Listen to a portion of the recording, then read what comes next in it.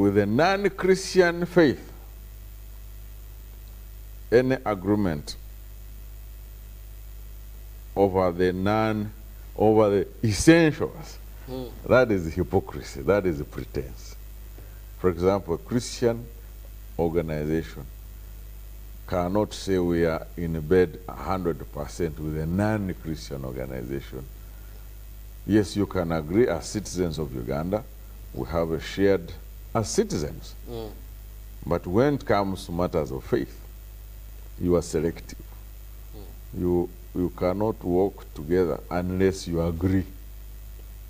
So if you disagree over certain basic principles, doctrinal, religious, any semblance of unity, ah, that is pretending.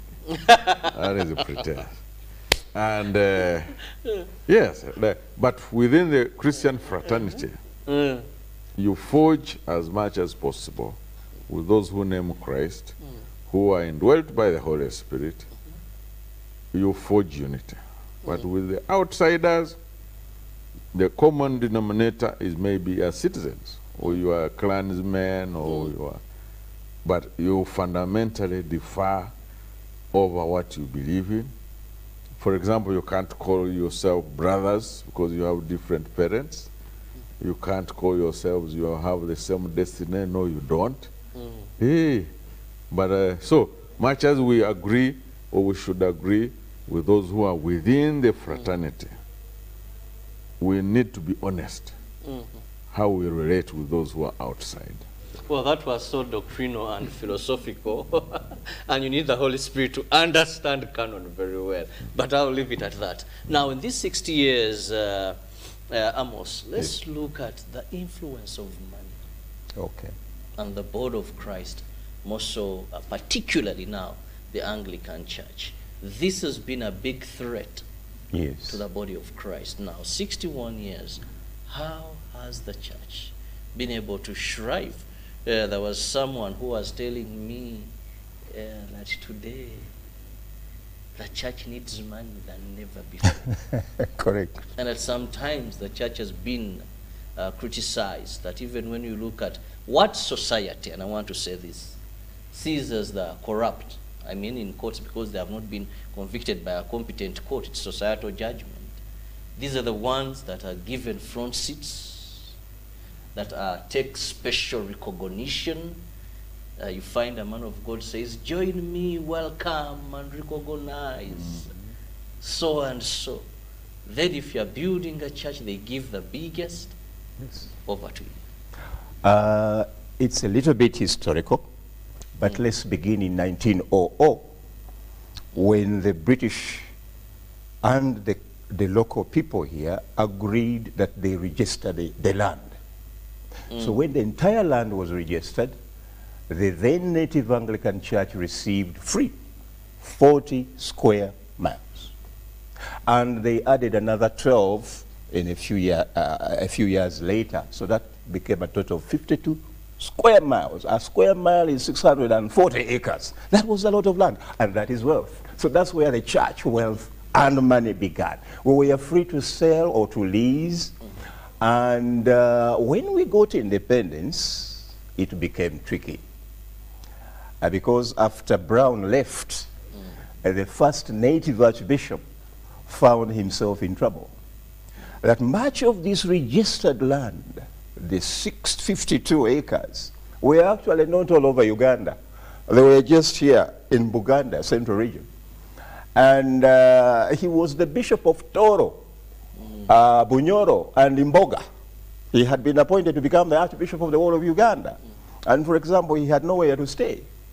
So the automatic thing was that uh, he had to stay at Namirembe, the headquarters of uh, uh, the province. And uh, the people there told him that, uh-uh, you are the bishop of Toro, so you can go back to Toro, and when there is a faction, you can drive in, stay in a hotel, and then go back to Toro. And he was like, come on, guys, cannot do that. I need some place here. So they told him, never, never, you won't.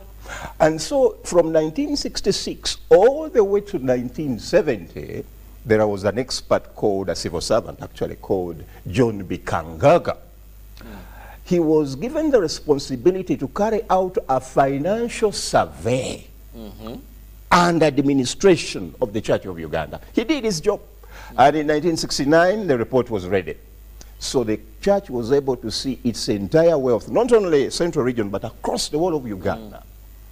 And then he came up with a report, and the best strategy was, first of all, to remove the Archbishop from Toro.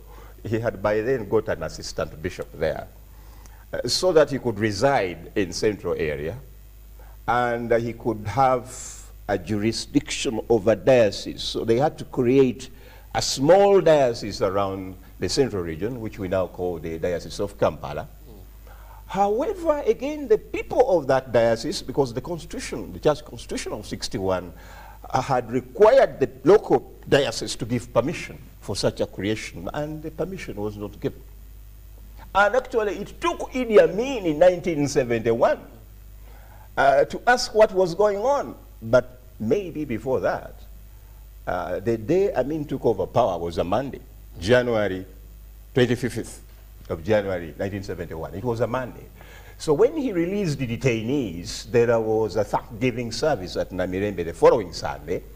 And uh, the people of the central region tried to show the world that, hey, hey, all that Amin has taken over. We have a problem with our finances and administration here. So we are not going to allow the Archbishop to be part of this. And yet, the diocesan bishop had actually invited him to preach at that service. So what happened? The people of that cathedral closed it. This was on the 31st of January, 1971. It was a Sunday. They closed the cathedral.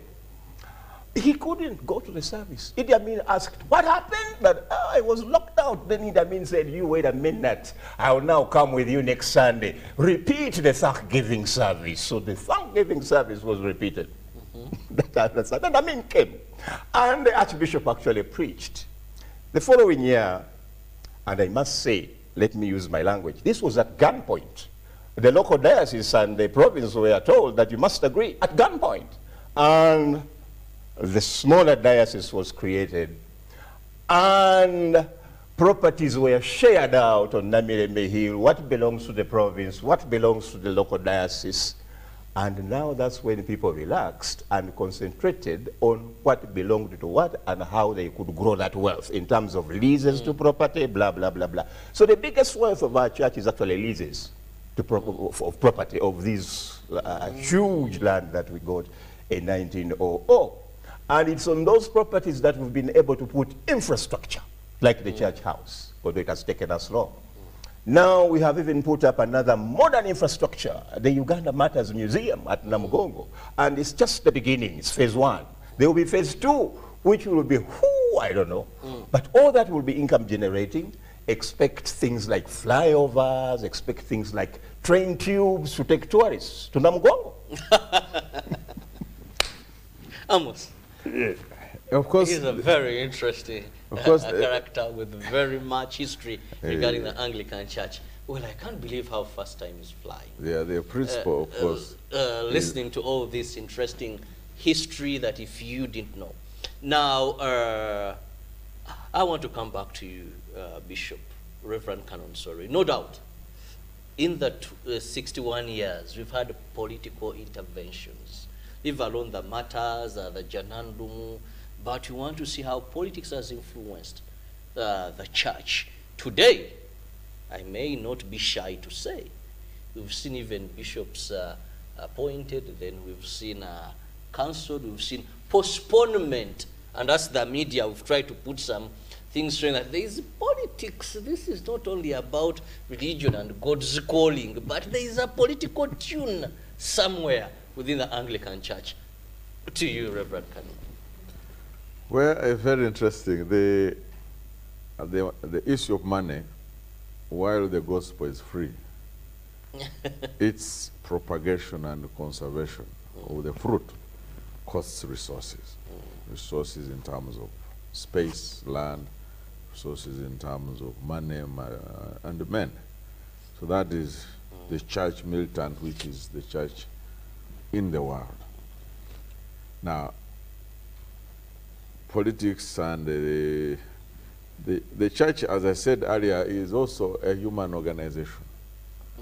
And as a human organization, it should have laws that govern the membership, systems of government, and policies.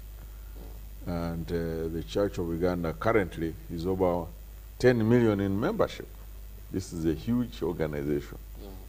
So, inevitably,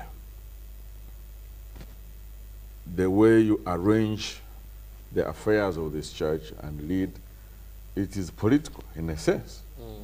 We are running, a, we are running an economy. Some of the African countries' population are much less than the population Archbishop Kazimba leads. Mm. So we are talking about an economy, you are talking about the government. We have institutions, we are leading schools and, and hospitals, income generating. We are thinking of beginning a bank and operating a bank. So really, we are talking about using systems and capacities and competencies that run huge organizations. Politics comes in inevitably. Who does what? And the selection process and uh, policies that govern accountability structures and systems. So it is a complex, a complex uh, situation that we have. Inevitably, carnality also comes in. The church is still here fighting the world, the devil, and the flesh. Matters of the flesh still come in. These saints are still work in progress. They are not yet there. They are, yes, they are progressive, but they are still sinners. Yes, so the flesh catches up with us occasionally. Selfishness and greed, all those are part and parcel of a human discipleship. But overall, we hope for the best. We pray we learn from our mistakes and that we allow the work of the Spirit of God who sanctifies the church to continue sanctifying the church and making it more perfect, conforming it to the image of Christ. But we are not yet.